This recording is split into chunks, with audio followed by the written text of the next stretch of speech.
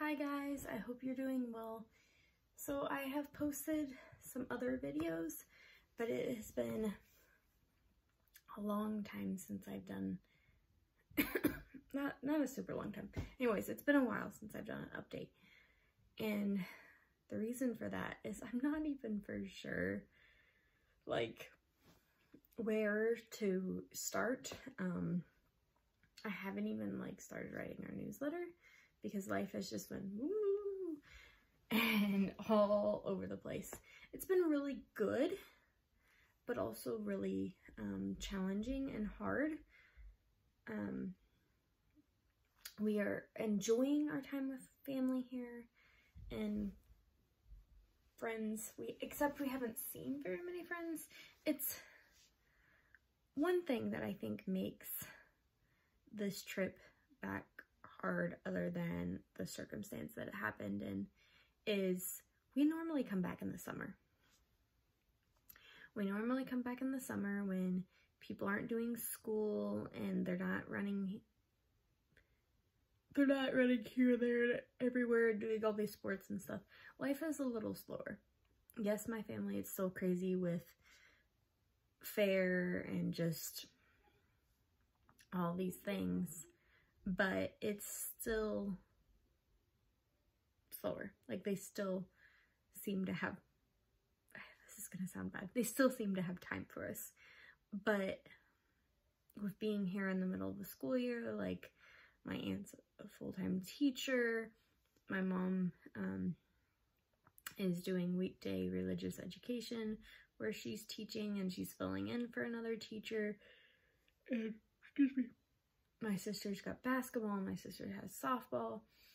They just got back from spring break. Like, everybody's busy. And I'm not blaming them. It's just that has made the trip more challenging. Um, but with that, we are still doing school. We are still teaching online. So it's kind of been nice that it's a slower pace and, you know, not everybody has time to run here or there because honestly, we don't either. You know, we're still having to meet deadlines and Zooms and post assignments and grade and all that. So we've been busy as well. And um, another reason I haven't like posted an update is I'm not exactly for sure how to update because things have changed a lot. Like originally, our original plane ticket date and everything was scheduled for um, April 1st. And so what? That's like this week. And then we changed it um, changed it for a couple of reasons. We were we were nervous about getting Thomas's paperwork back and then okay, I'm to go ahead and share this. You can think whatever you want about our choices, but we chose this one time to get the vaccine. At the time that we made the decision, we weren't for sure if we would be able to get it in the Philippines um, we weren't comfortable with the options that they were giving in the Philippines and there was a possibility of getting it here. Now, here's our main reason and our main stance for getting it. We have a foster daughter that we are hoping to adopt and we want to get back to her as soon as possible.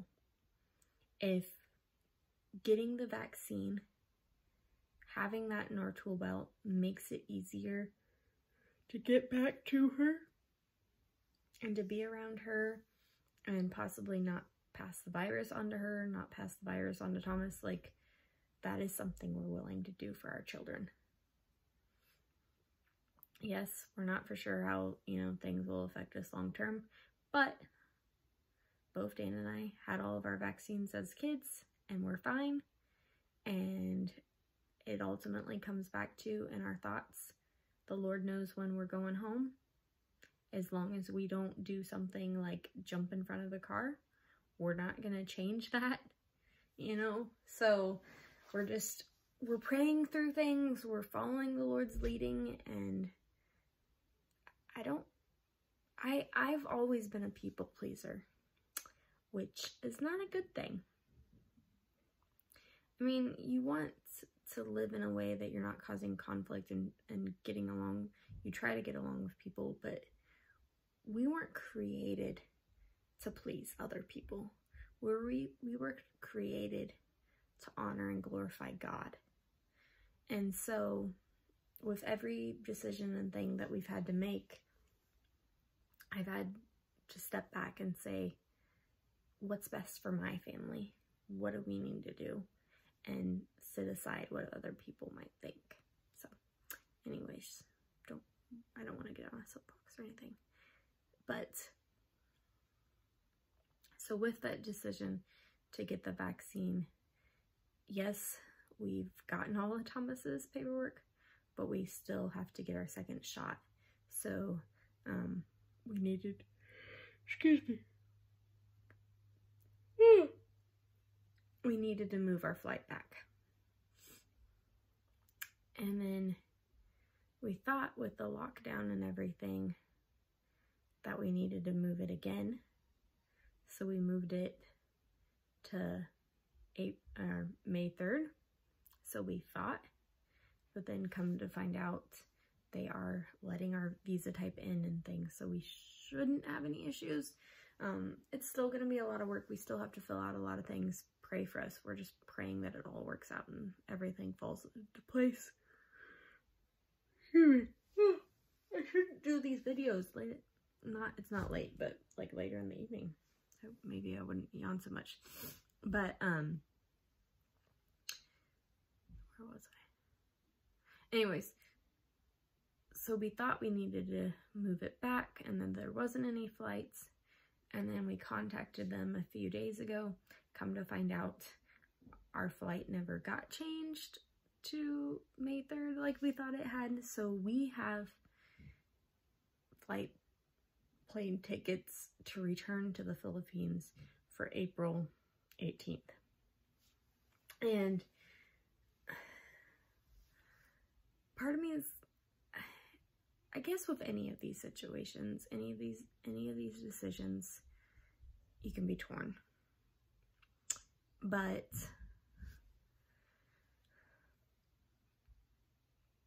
I'm really trying to go back to what is best for our family, what is best for the child that has no idea, no understanding of what's happening right now that's back in the Philippines. You know, like I don't want her to have this idea in her head that we have abandoned her in any way. And so um I'm constantly trying to communicate with her and, you know, Facebook video chat and all that. But I, but we know that the sooner we get back, the better. Does this mean that we're possibly going and probably going to miss the birth of our niece or nephew that Dan's sister's having? Yes. Am I sad about that? Yes. Is it a bummer that I won't meet them until after they're one? Yes. But there's also making sure that my own child remembers me. Um, and I'll, I'll do another video later. We have we have some exciting news, some exciting updates related to our daughter. And so we want to get back. We want to be a part of those things. So yeah, it's it's been up and down of when we were flying back, how things were working out. Um, we've had different ups and downs with family. When you've lived on your own with your own family, it's hard anytime, no matter what, you know, family dy dynamic you have.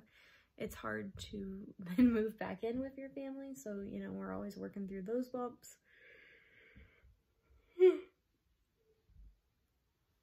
There's the bumps in the road with figuring out things when you have a loved one pass away. So yeah, there's just there's a lot going on. There's been bumps and things with us being here and our foster daughter still being in the Philippines and taking care of her from afar and you know making sure the internet's working so that we can communicate making sure that um, the people that are taking care of her have phones that work like making sure that they have enough food and groceries and things it's just hard um, and and there and there's definitely hard times when we're over there too. But Dan and I have done it for six years together overseas with just us and um, we know when to grab onto community. I, you know, I know those certain people and things that we can go to. Um, and we have that when we're here too. So we'll we'll make it through this and I'm gonna, you know, enjoy times holding nephew and playing with nieces and nephews and all that while we're here and I'm thoroughly looking forward to and praying um, for great snuggles with our foster daughter. So anyways, sorry this was a long update, but we're doing well. We have our plane tickets. The Lord continues to provide. We are so thankful for you that watch our videos. We're so thankful for you that pray for us and partner with us financially and are just walking along on this journey with us. So we love you guys and we'll see you next time. Bye. God bless.